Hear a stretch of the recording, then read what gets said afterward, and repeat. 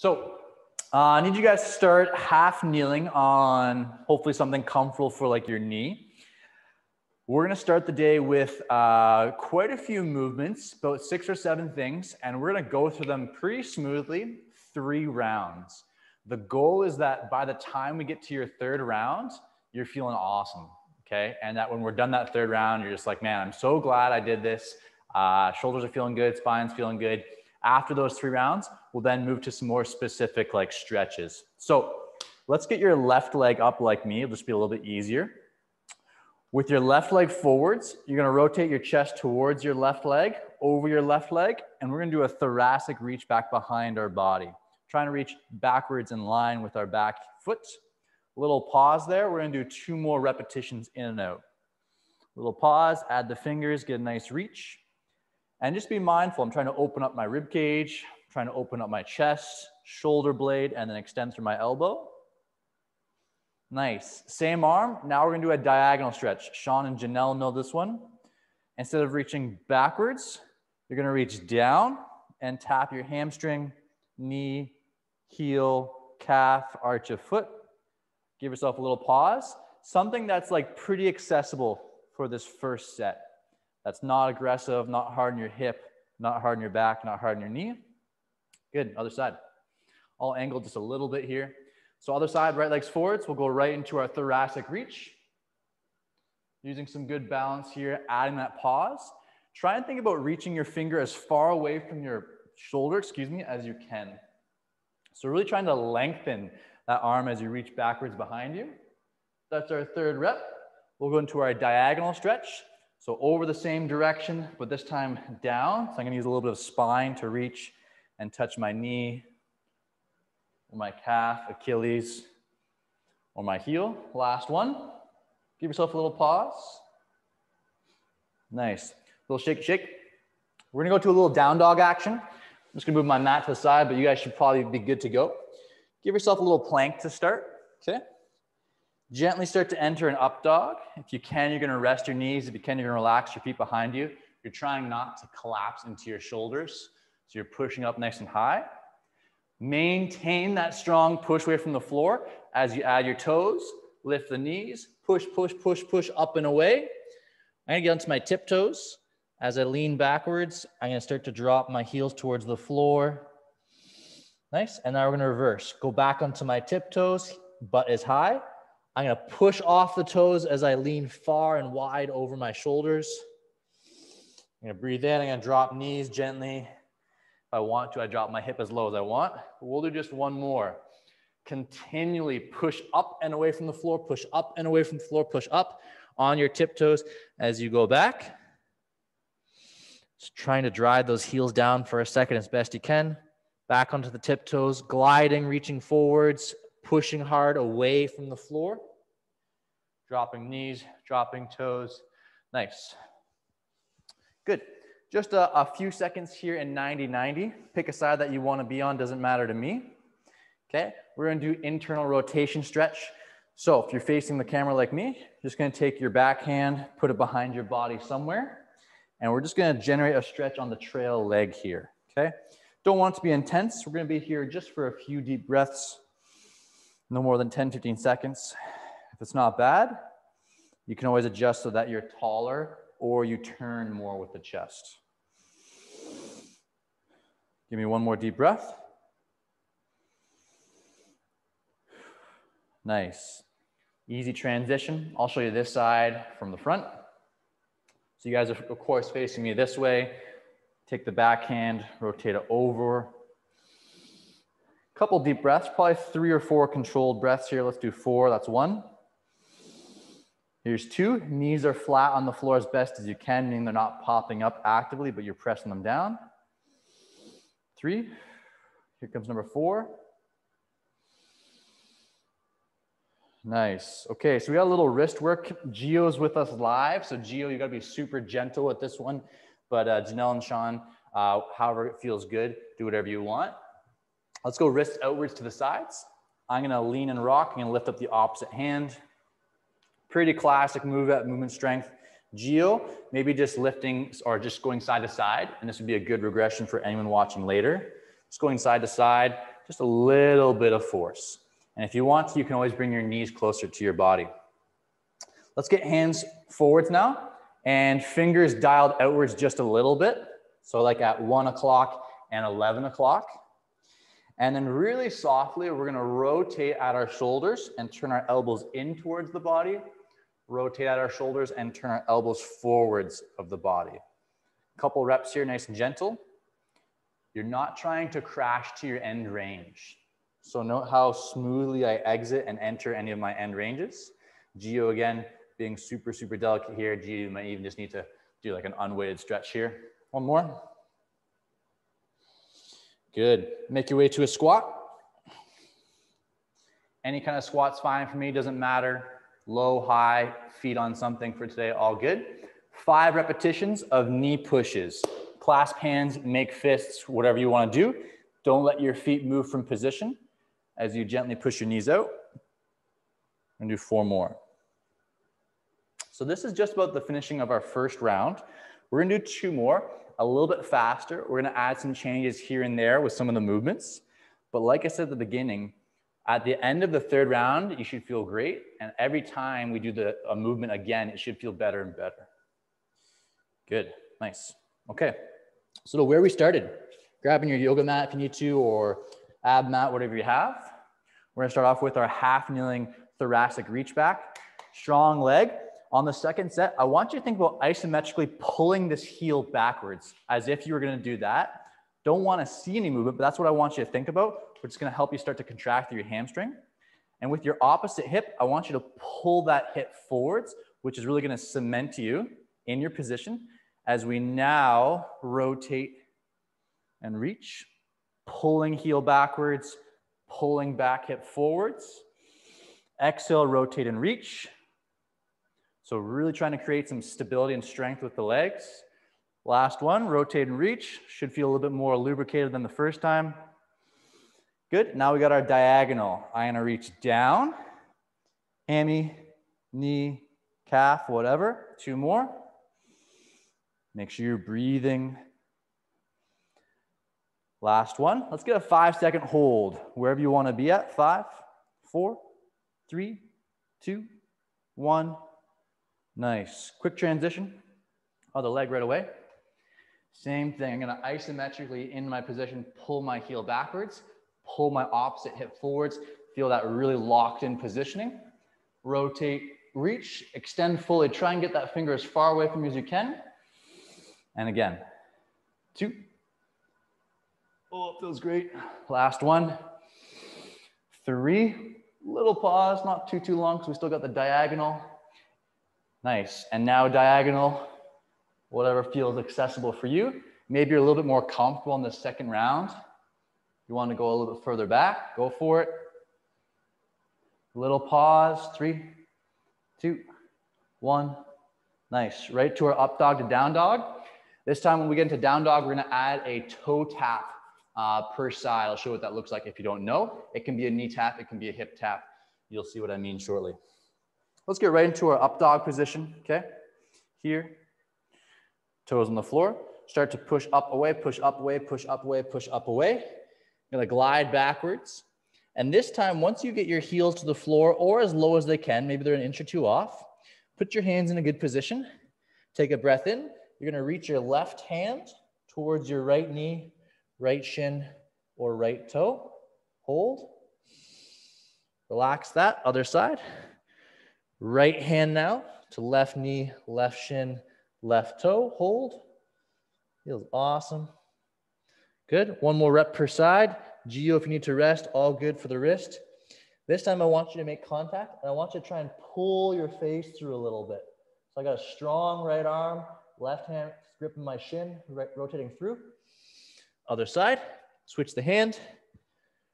Now I got my right hand on my left shin. I'm turning away from you guys, looking through and holding for five, four, three, two, one. Nice. Good. Take a seat back to 90-90. Over your forward leg, take a breath. Be gentle with the hand up first. Moving over to the back leg here. At this time, we're gonna add a little bit of intensity to the stretch. It doesn't need to be crazy. Um, and if you're gonna cramp, if you're feeling a cramp sensation start, then just back off a bit. But while you hold your position, if you have a pocket or if you can visualize a pocket on your trail leg hip, I want you to think about rotating that pocket down and in towards the floor. Okay, just like so. Like a, a little shift in my hip from here to here. And I want you to softly squeeze your butt cheek as you hold that. For some of you, you might feel a release. It might feel easier. For some of you, it might be like a big difference. Geo, if you need to, for your wrist, Geo, or anyone with wrist issues, you can kind of just be doing this right here, getting a stretch on your back hip. Nice. Hold this for another three, two, one. Pretty smooth little flip here, just looks like this. Other leg. Same thing. I'm gonna breathe, take a second, get a little bit of tension, and I'm gonna try and roll that pocket down and towards the floor. So I'm trying to rotate the pocket, pull it towards the floor. Okay.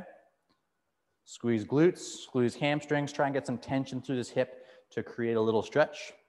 We got another three, we got another two, we got another one. Good, nice. Wrists round two, we'll do an unweighted sequence, okay? We'll take hands. I really want you to splay your fingers nice and wide. Try and keep them splayed as you open up through the wrist, okay? And softly pull back into some extension and you guys can re regulate how much you want here. Um, it's not gonna do a lot compared to how much keyboarding we do these days, but this is a nice thing to do here and there if you, if you are at a keyboard a lot. Good, other side, splay the fingers nice and wide. Gently pull those down. When you start to enter your elbow extension, be soft. You don't wanna just like drive through that last range of motion with intensity. Be a little bit gentle there. Couple more seconds. Three, two, one. Nice, good. Next one, you're gonna take your thumb, you're gonna put inside your hand, wrap the fingers around the thumb. Reach your hand out in front of you with the thumb wrapped inside the hand. And then softly, you're gonna use your assisting hand to pull downwards on your wrist. Okay, really, really gentle. We don't need a lot here to get a stretch in here. For some of you, it could be termed violent it's violent, we gotta just ease off for sure. I want like a nice feeling of a stretch. Good, exit slowly, other side, thumb inside the hand, wrap the fingers, arm in front, gently find a nice stretch, nothing violent. Breathe. Three, two, one, good. Squat round two, we're gonna do a bow and a reach. Okay, this one is always a little bit challenging especially if you're not used to it. Kind of make a, a, a fist and a hand here towards the floor. It's gonna look silly the first half of the movement. We're basically gonna try and touch our forehead towards the floor. And then the second half is gonna try and reach our hands up to the ceiling, okay? So, gonna have you connect your hands to your forehead.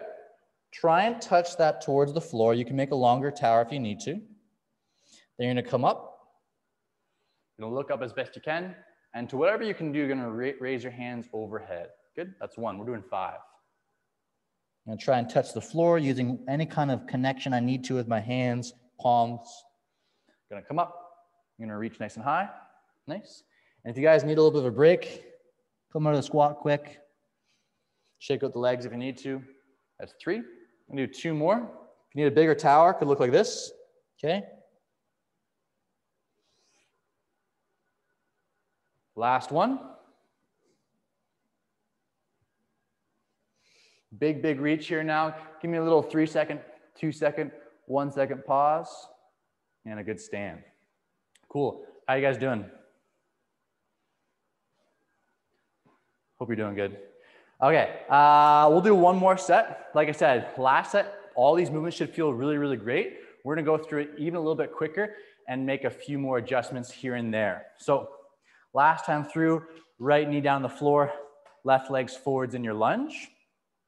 We're gonna do a combo here. We're gonna do a backwards reach like we've been, like we've been getting. And then from there, if you feel like you're able to, if you feel like it's not gonna be too hard in your body, you're then gonna tilt your spine backwards and tap your foot for your diagonal stretch. If that arching maneuver might be a little bit much, you're gonna come forwards like we've been doing and then enter your diagonal If you're not really sure, just watch. So for me, I'm gonna rotate, forward, heels pulling backwards, and then I'm gonna angle backwards, feeling a lot of spine. I'm gonna come out, I'm gonna relax, okay?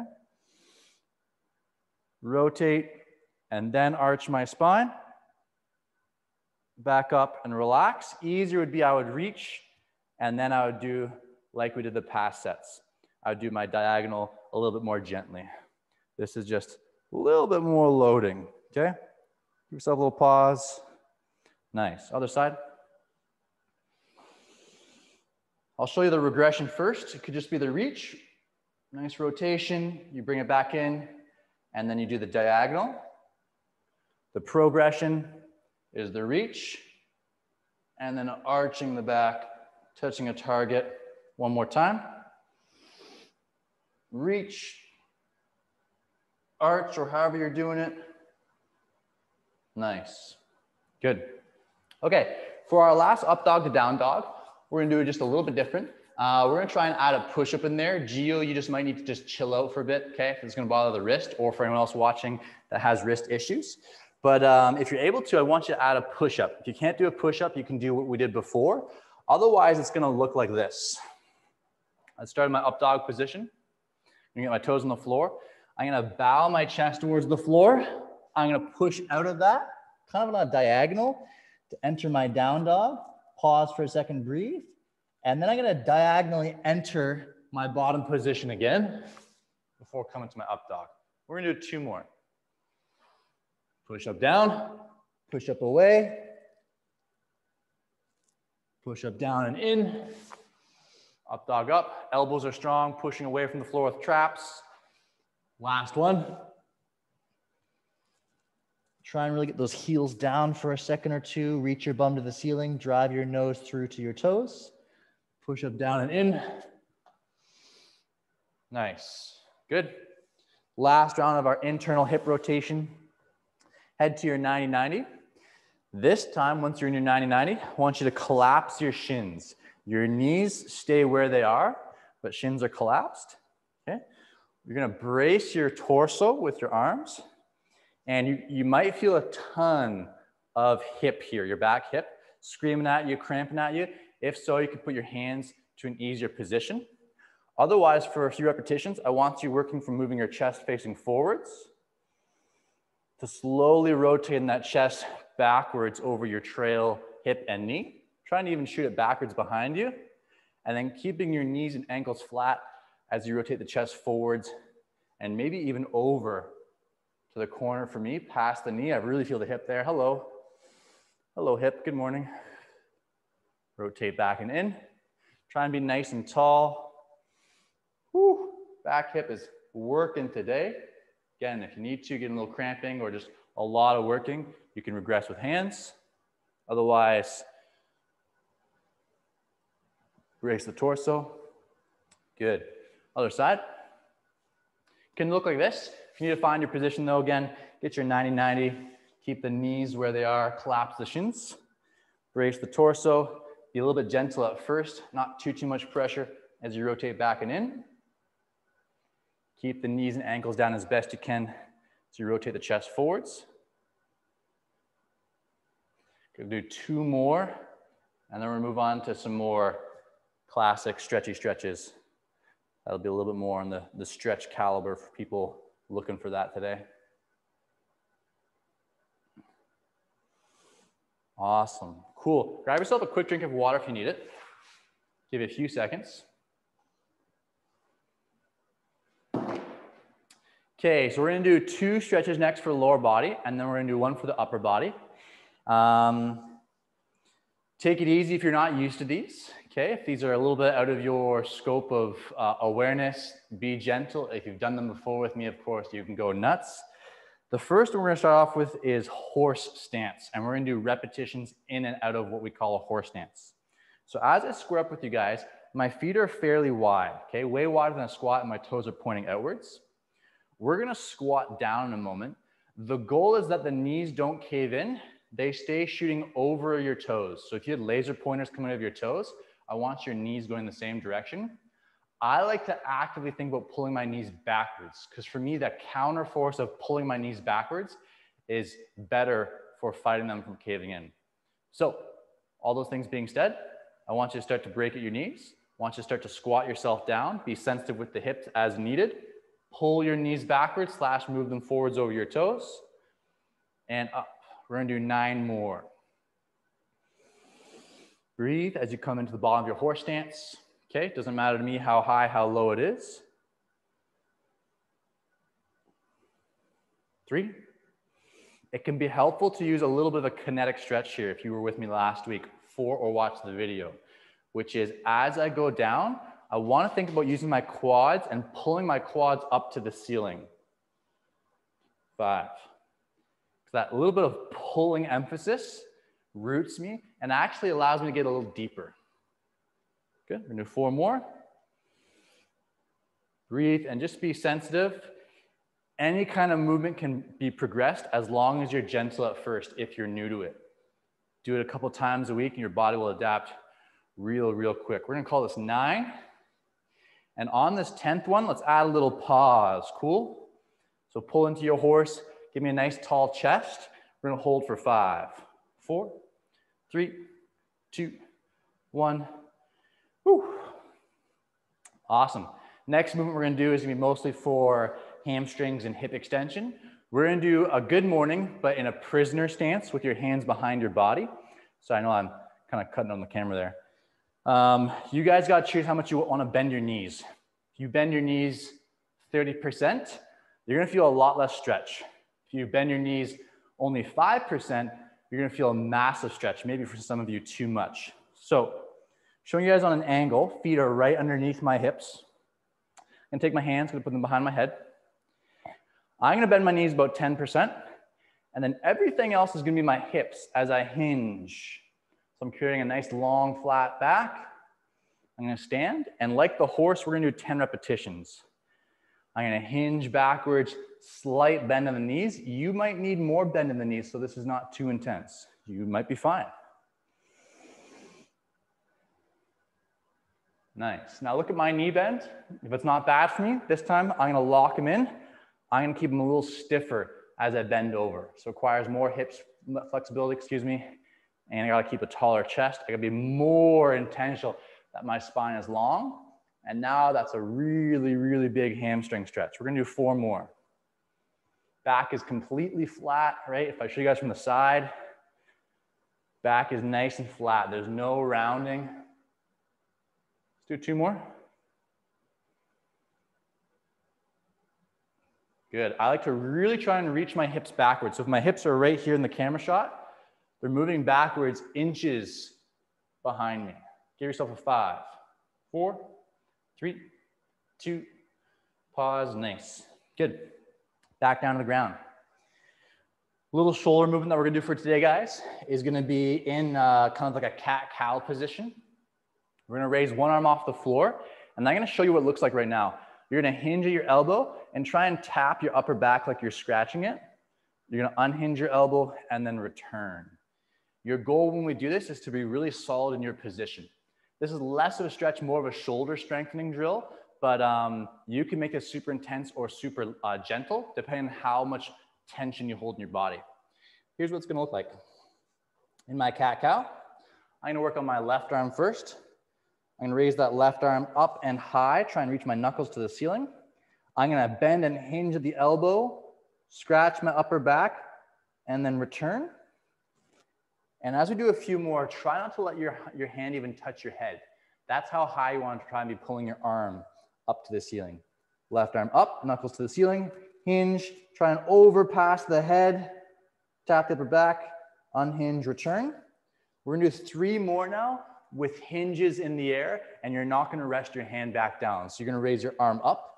It's gonna stay there as you hinge, hover over the head, tap the back, extend, rehinge, hover over the head, tap the back, extend, one more, hinge, hover over the back, or touch the back rather, unhinge and rest.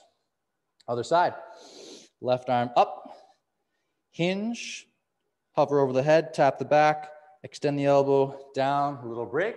Two, same way. Hover over the head, extend the shoulder and elbow, and relax. Three now with your hand up the whole time. Hinge, hover over the head, tap the back, hold that arm in height. Two more. Last one. Nice. Awesome, guys. We're gonna go through those three. 10 o'clock, we're gonna go through those three a little bit quicker one more time. Leave you guys feeling great, uh, and then we'll uh, call it a day there, okay? I think we're all feeling really good after this nice short little routine. So horse stance, try and find a position that you were in similarly before. We're gonna do five reps with a three second pause in the bottom each time. Don't want you to hang out there. I want you to fight to hold your position. Try not to relax, hold with tension. Start to enter, knees push out and back.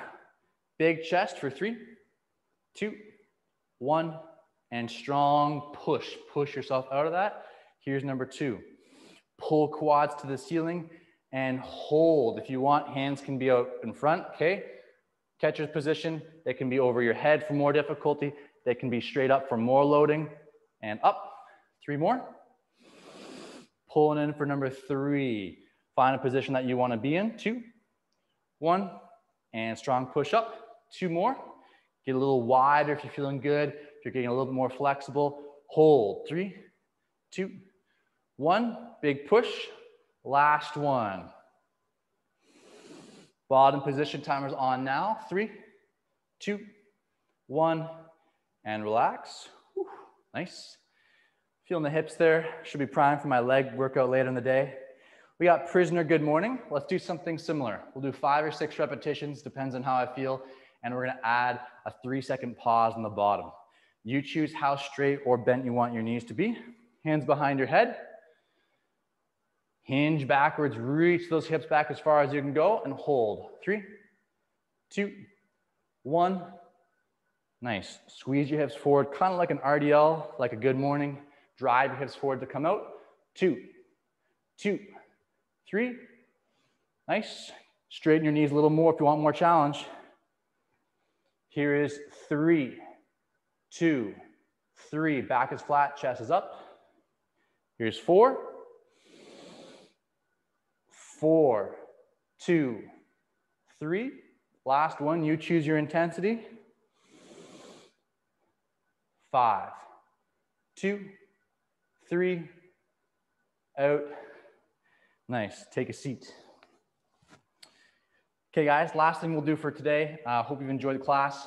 Hope spine feels really good now. Wrists, shoulders, elbows, hips. We've done a lot of things. Is let's do a similar looking movement to what we did in the, with your hands on the floor doing our shoulder hinges. We'll do a similar flow uh, in this cross-legged position here. A lot of you have done this many, many times with me. Take your hands, put them behind your head, and clasp your hands. Don't interlock them, okay? want you to really try and hard here to keep your head in one position. It's not gonna jut forward. It's gonna stay rooted where it is as you pull your hands backwards off your head. Hold, feel that pressure of using your shoulders to pull away from your head and relax back on. Head doesn't move, harden your belly, pull away, relax, one more. Big chest, belly strong. Pull your hands away from your head. Do not move your head. And now I want you to extend your elbows, reach up and high. We're gonna rehinge and hover behind our head. There's no, there's a little gap, excuse me, between our head and our hands. Two. Here's three in, hover away from the head, hinge out. And now we're gonna have three rotations of our shoulders. You're gonna reach your palms backwards behind you and then try and pull the arms together. Reverse. Here's two. Turn the palms backwards behind you, pull them together. Big chest. Last one, number three. Pull palms backwards, pull hands inwards towards one another. Gonna have you rest your hands on your low back as best you can. If you're a ninja, you're gonna grab higher up your back, okay? If you're more of a, of a gremlin, you're gonna put your hands here, okay? or you can be in the middle. I don't know what the middle is between a gremlin and a ninja, but it's a something. We're gonna do similar to the neck here. Harden your belly, chest up, pull your hands away from your body. Try not to move your body. Relax. and two. Pull your hands away from the body, but don't move the body. Number three, extend the elbows. And now we're do the whole thing, unraveling everything we just did. Hinge the elbows, hover behind the back, touch the head, rest. Awesome, guys. We'll call it there. Hope you guys feel good from that. Hope you have a great day. Uh,